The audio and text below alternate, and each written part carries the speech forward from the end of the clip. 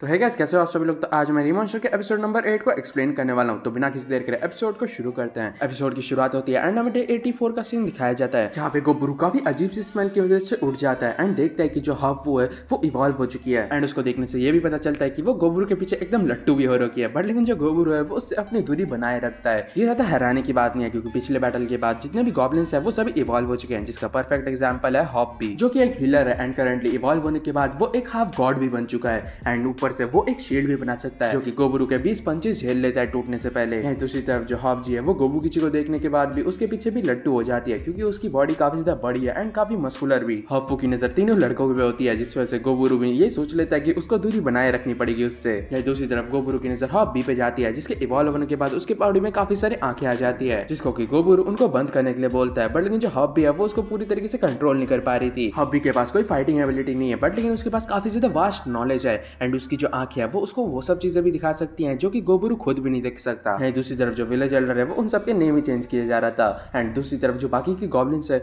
वो सभी गोबरू के पास आके उससे और भी ज़्यादा हार्ड ट्रेनिंग मांगते हैं, क्योंकि उनको काफ़ी ज़्यादा रिग्रेट था अपने मरे हुए साथी का। एंड ये सुन के जो गोबरू है, वो भी समझ जाता है उनकी बात एंड उनको ट्रेनिंग देने के लिए भी मान जाता है। तभी गोबरू की नज़र कॉबल्ट पे जाती है एंड वो उनसे उनके लीडर के बारे में पूछता है, जो कि मिसिंग लग रहा था। और तभी उसको पता चलता है कि उनका जो लीडर था, वो इवॉल्व हो चुका है एंड अब उसके पास एक नया नेम भी है, जिसका मतलब है, जो भी उनसे पंगा लेगा, उसकी मौत। एंड मैं इसके नाम को प्रोनाउंस करने की भी ट्राई नहीं करने वाला, क्योंकि ये काफ़ी ज़्यादा अजीब है। एंड इसी दौरान वो गोबुर को अपनी लाइफ टाइम की लॉयल्टी भी देता है। गोबुर है, वो डिसाइड करता है कि वो लोग जितने भी प्रिजनर्स है, उनको छोड़ने वाले हैं। एंड अगर कोई प्रिजनर्स के पास कोई भी जगह नहीं है घर जाने के लिए, तब वो यहाँ पे कुछ समय के लिए रह सकता है। लेकिन कुछ प्रिजनर्स खुद को उनसे सुपीरियर मानते थे। इस वजह से वो लोग उसको बोलने लग जाते हैं कि अपने लीडर को बुलाओ। हम लोग उससे बैटल करने के बाद इस जो ग्रुप है, उसको टेक ओवर करने वाले हैं। एंड वो लोग ऐसा बैटल का ओवर इसलिए दे रहे थे क्योंकि उनको लग रहा था कि जो गोबोमी है, वही उनके ग्रुप की लीडर है। जो सुन के जितने भी गॉबलिन्स है वो सभी काफ़ी ज़्यादा गुस्सा हो जाते हैं। एंड यहाँ तक कि गोबोमी भी खुद को कंट्रोल नहीं कर पा रही थी। पर लेकिन जो गोबुरो है, वो सामने आता है एंड उनके चैलेंज को एक्सेप्ट कर लेता है। एंड उनको ये भी ऑफ़र देता है कि तुम लोग एक साथ भी हमला कर सकते हो।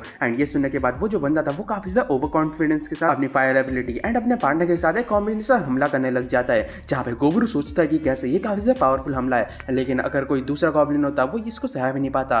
पर लेकिन उसकी बात तो थोड़ी सी अलग है एंड वो एक पंच के साथ उन दोनों को उड़ा देता है। एंड क्योंकि उसका प्लान उनको मारने का नहीं था, इस वजह से हॉबी भी उनको हील करने लग जाता है। बाकी के प्रिजनर्स भी अपना लक ट्राई करने लग जाते हैं, पर लेकिन गोबुरु उन सभी को मारता है। और तभी अचानक से एक गोरिल आता है एंड गोबरू को दूर गिरा देता है एंड उसके बाद खुद को विलर डिक्लेयर कर देता है। पर लेकिन जो गोबरू है, वो अचानक से एक बार आता है एंड ऑलमोस्ट उसकी जान ही ले लेता है। तभी अचानक से गोबरू की नज़र एक और प्रिजनर पे जाती है, जो कि गोबूमी के ऊपर लाइन मारने लग जाता है। पर लेकिन जो गोबूमी है, वो भी उसको भाव नहीं दे रही थी एंड ये देखने के बाद जो गोबरू है, वो काफ़ी ज़्यादा गुस्सा हो जाता है एंड उस बंदे को इतना मारता है कि वो अधमरा हो जाता है। एंड क्योंकि उसकी हालत काफ़ी ज़्यादा खराब थी, इस वजह से गोबरू को अपना ब्लड देना पड़ता है उसको ठीक होने के लिए। तभी हमें कुछ और प्रिजनर्स को भी दिखाया जाता है, जो कि गोबरू की इतनी ज़्यादा पावर देखने के बाद काफ़ी ज़्यादा इंप्रेस हो जाते हैं एंड वो लोग उसको फॉलो करने का ही डिसाइड करते हैं। एंड ऊपर से गोबरू के पास ये एबिलिटी भी थी कि वो अपने ब्लड से लोगों को हील भी कर सकता है। एंड उनकी ये बात सुनने के बाद गोबरू भी मान जाता है, पर तभी अचानक से वो जो बंदा था, वो वापस से खड़ा हो जाता है एंड इस बार गोबरू की जगह गोबरू पे ही लाइन मारने लग जाता है। एंड वो गोबरू को किस भी करता है। एंड ये देखने के बाद जो गोबरू है, उसकी हालत काफ़ी ज़्यादा खराब हो जाती है। एंड उसके बाद उसको काफ़ी बुरी तरीके से वापस से मारता है वो। पर लेकिन वो बंदा फिर भी गोबरू का पीछा नहीं छोड़ता।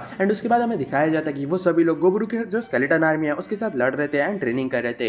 एंड उनको टास्क देने के बाद गोबरू ब्लैक स्मिथ के पास जाता है। एंड उसका इंट्रोडक्शन कुछ डॉफ से करवाता है, जिसके साथ वो आज से काम करने वाली है। पर लेकिन जो ब्लैक स्मिथ थी, वो एग्री नहीं करती, क्योंकि वो अकेले काम करना ज़्यादा प्रेफर करती है। बट गोबरू उनको बताता है कि कैसे जो डॉर्फ्स है, उनकी स्किल्स काफ़ी ज़्यादा अच्छी होती है। एंड वो काफ़ी कुछ सीख भी सकती है इनसे। फिर वो अपनी न्यू एबिलिटीज की मदद से थोड़े से एक्सपेरिमेंट करने लग जाता है, जहाँ पे वो एक स्टोन की मदद से एक न्यू आर्मर ले आता है अपने लेग के लिए। फिर वो एक मॉन्स्टर को समन करने का ट्राई करता है बट लेकिन वो एकदम आउट ऑफ़ कंट्रोल हो जाता है। एंड उसकी कमांड भी नहीं मान रहा था, जिस वजह से उसको उसको मारना पड़ता है। फिर वो दो पावर्स को कंबाइन करता है sun damage and light damage and इस वजह से होली डैमेज अपियर होता है, जिस वजह से जैसे वो सन में जाता है, उसकी बॉडी एकदम जलने लग जाती है। लेकिन ये ज़्यादा उसको इफ़ेक्ट नहीं करता, क्योंकि उसके पास हीलिंग एबिलिटी है। एंड वो इसके बारे में अगले दिन सोचने की बात करता है। फिर हमें डे 85 का सीन दिखाया जाता है, जहाँ पे वो ब्रू हॉट स्प्रिंग को और भी ज़्यादा बड़ा करने का डिसाइड करता है, ताकि उनका जो एल्फ्स के साथ ट्रेड है, वो और भी ज़्यादा बड़ा हो सके एंड उनके साथ रिलेशन भी और भी बढ़िया हो सके। डे 86 में गोब्रू अपने सिंथेसिस एबिलिटी को टेस्ट करता है। लेकिन टेस्टिंग के दौरान वो लोगों की हालत कुछ ज़्यादा ही खराब कर देता है। फिर हमें डे 87 का सीन दिखाया जाता है, जहाँ पे डॉफ्स गोब्रू को एक गिफ्ट देते हैं, जो कि उनका सबसे बेस्ट प्रोडक्ट था। एंड वो एक हैमर था। एंड जो गोब्रू है, वो खुशी खुशी उसको एक्सेप्ट भी कर लेता है। एंड उसके बाद जो गोब्रू है, वो अकेले जंगल में निकलता है, जहाँ पे वो नोटिस करता है कि जितने भी मॉन्स्टर है, वो उसकी प्रेजेंस को नोटिस करती है एकदम भाग जाते हैं। पर तभी जंगल के बीच से वही लड़की आती है, जिसको कि हमने काफ़ी टाइम पहले देखा था। एंड उसको देखने के बाद वहाँ पे क्या होता है, वो आप समझ ही जाओ। जब वापस अपने घर पहुँचता है, वहाँ पे रेड वालों वाला लड़की एंड गोबू में उसको देख के काफ़ी ज़्यादा गुस्सा हो जाती है, क्योंकि उसकी हालत हालत कुछ ज़्यादा ठीक नहीं लग रही थी। एंड वो लोग रात के लिए उसको रेडी रहने के लिए बोलते हैं, एंड ये किस लिए? वो तो आप समझ ही जाओ। एंड फिर हमें अगले दिन का सीन दिखाया जाता है, जहाँ पे गोबुरु ने स्ट्रॉ हैट पहन रखा था। एंड हमें डायरेक्टली वन पीस का रेफरेंस दिया जा रहा है। यहाँ पे हमें दिखाया जाता है कि वो लोग फ़ार्मिंग करते हैं। एंड यहाँ पे गोबरू को वो जो स्पेशल बीच है, जो कि काफ़ी ज़्यादा जल्दी ग्रो करते हैं, वही पिछले दिन वाली लड़की से मिला था। एंड गोबरू यही बताता है कि कैसे ये जो फ़ेज़ है लाइफ का, ये काफ़ी ज़्यादा अमेजिंग है। एंड वो हमेशा इस टाइम पे रहना चाहता है। फिर हमें डे एटी का सीन दिखाया जाता है, जहाँ पे कई सारे जो प्रिजनर्स है, वो ट्रेनिंग करने के बाद अपने अपने रास्ते निकल जाते हैं। एंड इसी दौरान हमें आर्मी को भी दिखाया जाता है, जो कि गोभूमि के कंट्रोल में है। एंड वो लोग करंटली यहीं पे रह रहे हैं। गोभूमि अपनी पाव की मदद से उनको वापस से ऑर्डर देती है एंड उनके किंगडम में वापस से भेज देती है। एंड जितने भी आर्मीज थे, वो सभी वापस से रिग्रुप हो जाते हैं एंड वहाँ से विड्रॉल कर लेते हैं। एंड ये सुनने के बाद जो एल्फ लीडर था, वो काफ़ी ज़्यादा खुश हो जाता है। एंड गोबरू को एक पार्टी के लिए इन्वाइट भी करता है, क्योंकि वो लोग वॉर जीत चुके थे। फिर हमें पार्टी का सीन दिखाया जाता है, जहाँ पे वो सभी लोग एल्फ का सीक्रेट डांस देख रहे थे।